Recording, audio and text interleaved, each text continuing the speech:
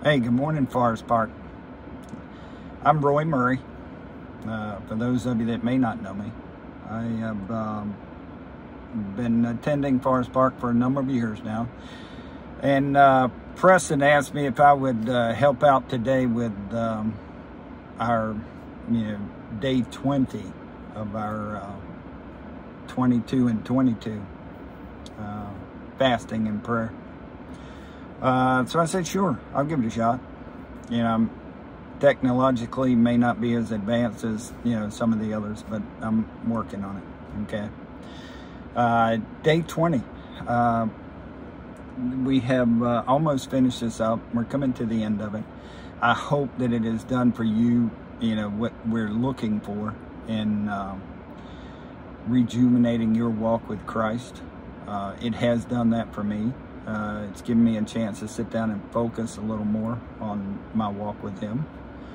Um, you know, so we're, you know, I'm going to get into, you know, today's uh, verse of the day. Um, and, you know, trying to refresh our purpose, you know, that kind of thing. Uh, creating disciples is what today is about. Uh, and the verse of the day comes from Matthew 28, 16 through 20.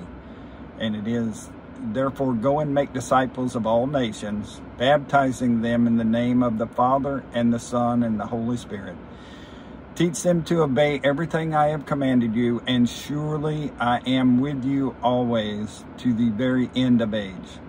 Uh, again, Matthew 28, uh, 19 and 20.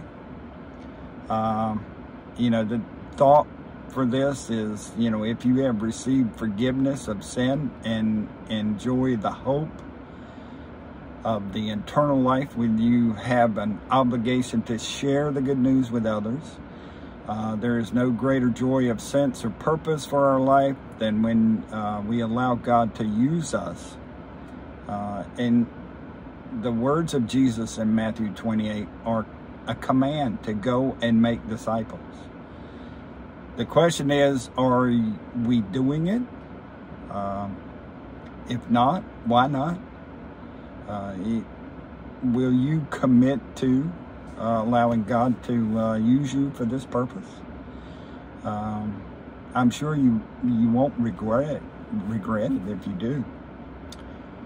Um, you know the prayer challenge for today.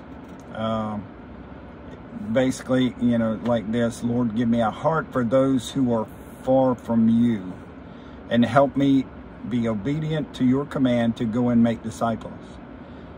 Uh, if training is what I lack, give me the boldness to go to the pastor and ask for help. Basically, go somewhere and ask for help. Uh, this is one of those things that uh, I think we all struggle with. Uh, but part of this is um, you need to learn to, you know, and hopefully this challenge is doing this for you. You need to learn to walk the walk and talk the talk. Uh, if you are, you know, if your actions are Christ-like, if your words are Christ-like, people see that and uh, it, it, gives them a chance to understand you better, uh, where you're at with it, and possibly you know, question themselves where they're at with it. Um, you know, as we, part of this, you know, the baptism, I got to thinking about that. You know, we're sitting here waiting for the, you know, the snow to come um, tonight. Um, first big snow of the season or whatever. You know, and it is, uh, I'm sure it's going to be the blizzard of 22 or something. You know, there'll be some name on it. Um, but that that snow is it uh, you know there's an old wives tale that used to say you don't make snow cream with the first snow because it it's dirty it that first snow cleans the air um, so you wait for the second one to come before you do that um, the cleansing effect that that snow has on the air itself uh, is similar to the cleansing effect that you know the baptism that Jesus talks about has on your soul. Uh, as you go down under the water and you come back up, you are clean. Um, and it is His blood that has cleaned you. Um, you know, so that um, I, it was one of those things I wanted to try and reflect on with this as well. Uh, you know, and when your sins are washed and you're new and fresh and you can start your walk with Him, um, hopefully this challenge that we've had at 22 and 22 uh, will help you do that as well. Um, I, you know, and I was riding into work this morning and uh, a song that I really like that it kind you know, it kind of goes along with this. If you learn to uh, go out and make disciples and you know, and we come together as a, you know, a, family, as a world, as a, a group of Christians, you, we can have such an impact on this. And it's not just on us, but it's on our children and our children's children. Uh, you know, so I wanted to play this song for you if I can get this to work, you know, the technological part of this. Um, let's see if we can. You know, and think about this as as we go through it.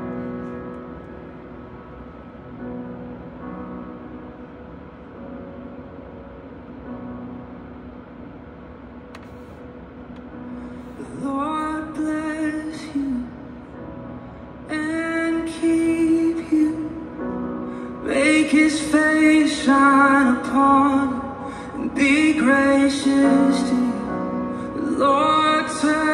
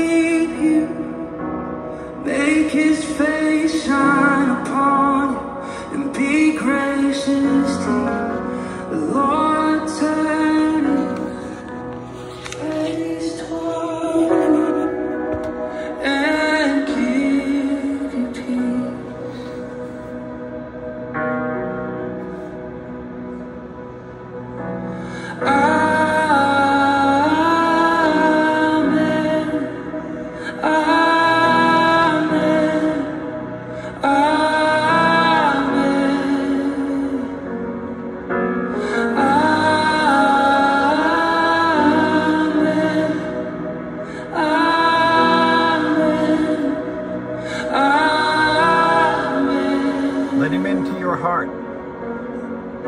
The Lord bless you and keep you. Make his face shine upon you and be gracious to you.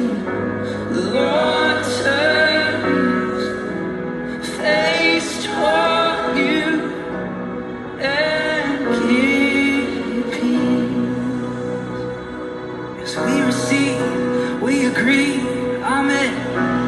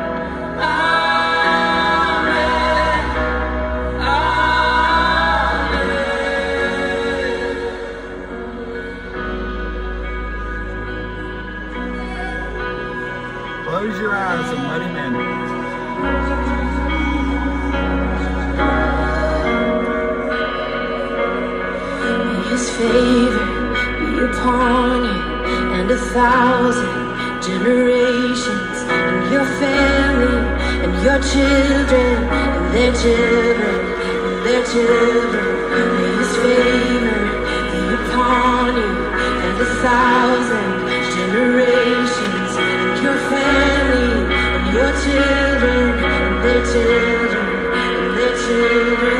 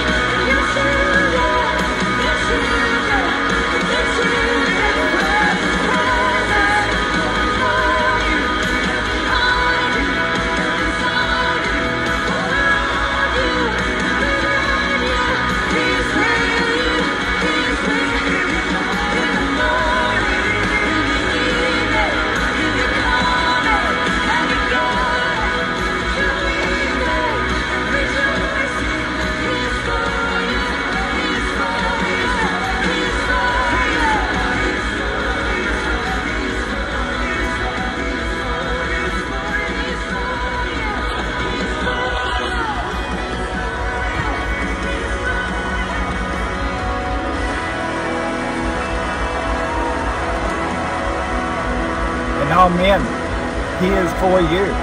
Are you for him? Will you go out and make disciples? That's the question today. You know, Proverbs uh, 11.30, live right and you will eat from the life-giving tree. And if you act wisely, others will follow. That's my prayer for each of you today. Live well and others will follow. Amen.